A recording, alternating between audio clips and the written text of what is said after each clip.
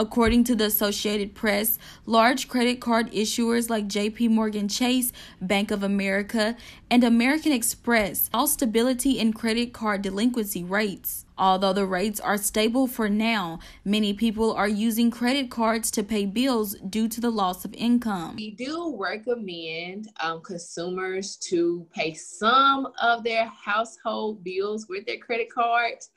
However, you um, need to pay that balance off in full um, before the reporting date. Local credit expert Brysonelle Winsnet Jones says she recommends consumers paying some large bills with their credit cards, but it can have long term effects if not done properly. The ideal goal is to keep your credit card balance um, below 30%. That's good.